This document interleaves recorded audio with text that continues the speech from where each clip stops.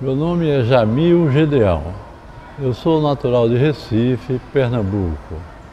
Ingressei no Exército por concurso para a Escola Preparatória de São Paulo. Fiz um ano de São Paulo, terceiro ano. Depois fui fazer a MAN. Começamos a MAN em 50 e fui declarado aspirante em 52.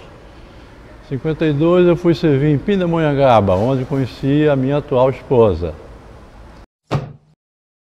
Um belo dia eu fui para o meu futebol e o instrutor de educação física faltou. Quando eu voltei para a escola, onde tinha uma quadra de basquete, eu vou passando, os meus dois colegas estavam tentando começar uma partida de basquete.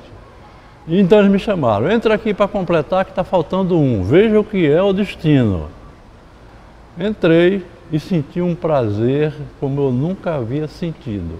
Claro que eu andei com a bola, fiz jogar errado, não, não joguei nada, fiquei só correndo para lá e para cá para poder suar e tomar meu banho. Isso foi no começo do ano. No final do ano eu estava disputando o Campeonato Pernambucano. Eu devo a, a minha vinda na carreira militar é, a um tenente de infantaria, chamava-se Martins. Ele me apoiou muito no esporte, tá?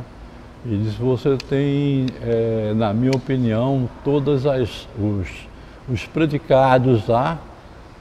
para seguir uma carreira militar. E o Martins dizia assim, Gedeon, olha, você é esportista, você é isso, você é aquilo, faz. Eu me preparei, fiz o concurso, fui aprovado e vim fazer então a preparatória de São Paulo para experimentar. Na preparatória tem uma grande vantagem, você experimenta a vida militar. Se você se der bem, é isso mesmo que você quer, você prossegue a carreira. Se não, você pede desligamento e vai fazer outra coisa. Não me arrependo, adoro. Hoje, quando eu escuto uma canção, ainda fico todo arrepiado, aos 86 anos. Se eu continuar a falar, eu vou chorar.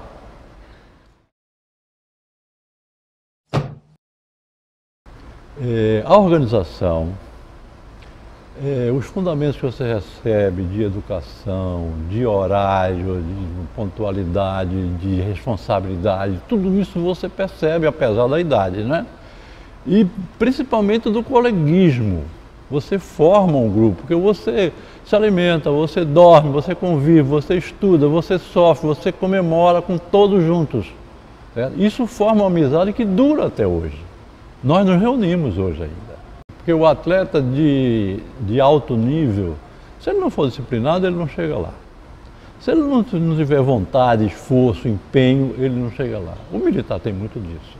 Eles, quando viam o Jamil Gedeão, estavam vendo jogador de basquete, estavam vendo várias coisas sobre mim, mas estava vendo também um oficial do Exército. Participar da Olimpíada, participar, não é ir lá visitar, não. Não é assistir, é participar. Vestir a camisa, entrar na quadra, jogar, disputar, entendeu? Não interessa o resultado.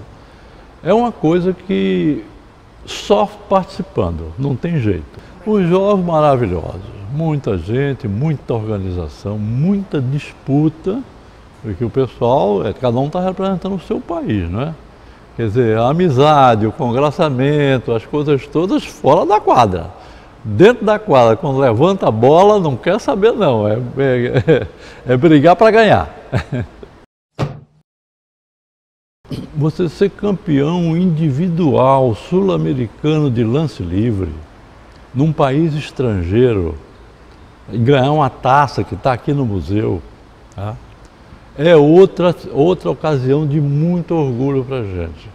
Essa competição de lance livre sul-americano não existe mais, ela foi extinta. Outra, participar do Mundial de 54, inauguração do Maracanãzinho, aqui no Rio de Janeiro, com a minha família assistindo. E você sente que você está orgulhoso por estar representando a sua família, o seu país, tá? E a sua instituição, principalmente. O prazer que eu sinto numa cola de basquete, sozinho, batendo bola sozinho, eu não, eu não consigo descrever.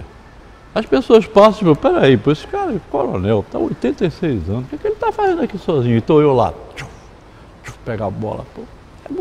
vontade. Quem pratica esporte tem qualidade de vida na velhice. Sigo as prescrições médicas, tudo certinho, mas eu tenho uma qualidade de vida que eu olho para os meus colegas e aponto com o dedo algum que tenha igual.